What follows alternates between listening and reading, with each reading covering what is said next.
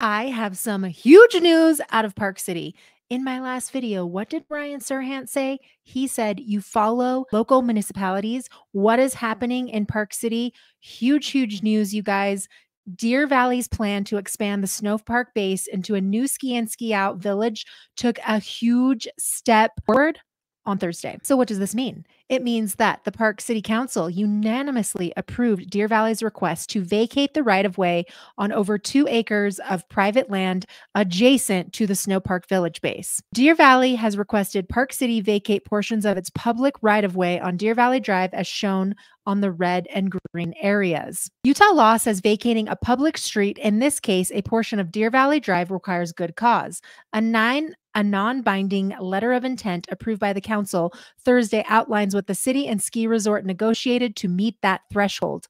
Commitment for Deer Valley includes a $15 million for Commitments from Deer Valley include 15 million for a parking transit facility, a 20% reduction in day skier parking, and a gondola network connecting Snow Park to the resort's new base along US 40 in Wasatch County, where the Mayflower is happening.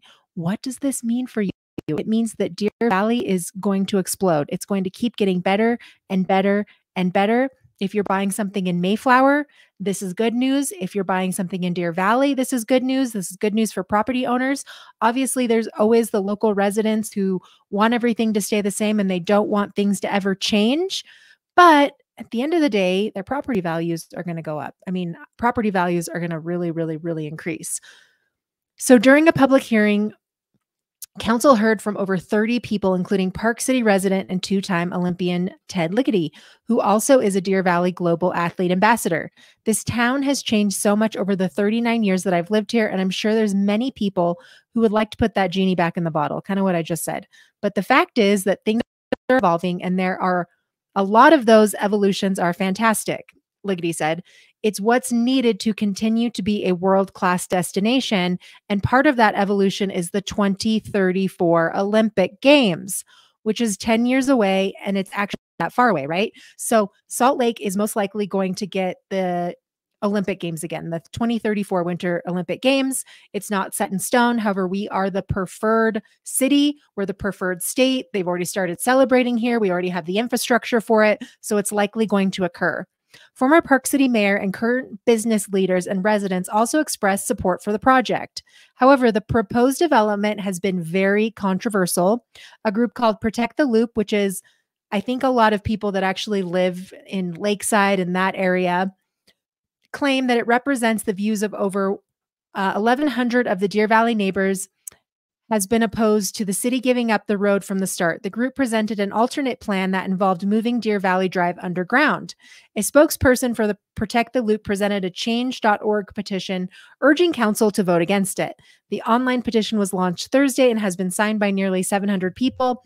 As of Friday afternoon, the spokesperson said that the sig- signatories include local residents and employees of the city and Deer Valley. We are not the enemy, the spokesperson said. We are the ones af- we are not the ones afraid. We are your constituents. Consultants. We have asked for reasonable alternatives. We deserve the support of our elected officials in negotiating better terms or refusing the ones on the table. For months, Park City Mayor Nann Worel two liaisons from the city council negotiated with Deer Valley officials to find a fair exchange for giving up the road. On Thursday, Eric Lee, legal counsel for Four Deer Valley HOAs accused the liaisons, Ryan Dickey and Max Doilney, of prejudging the partnership agreement in a way that disqualified them from voting. The two council members dismissed that accusation. So there's a little bit of controversy going on now that city council has approved this um, this to happen for Deer Valley. The idea that either of the lia liaisons had predetermined outcomes prior to starting this is unfathomable. We could not go into negotiation with that in mind, Doilney said. Frankly, it's a little bit offensive. Councilmember Becca Gerber said the persistent criticism of Deer Valley's project at previous public hearings gave the city leverage. Every time we had a public hearing and our community showed up, she said, We are worried about the traffic. We are all worried about the impacts. This is going to have a drastic impact on our life that strengthen the city's ability to negotiate for more in our community. Thursday's vote pushes Deer Valley's master plan development to the Park City Planning Commission for review. The vacation decision is contingent on the approval of the full project and the partnership agreement. It also includes a two year sunset clause if no action occurs. Deer Valley is planning to open to host an open house about the village development on January 10th at the Snow Park Lodge. Let me know what you think about this in the comments down below. Do you think this is good growth for Park City? Do you think that it's bad growth for Park City?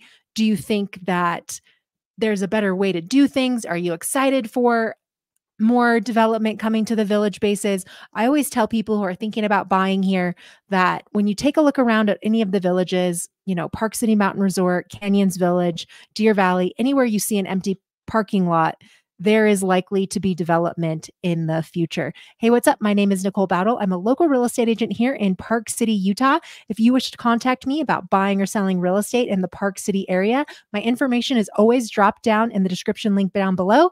Until next time, when I see you on the next video.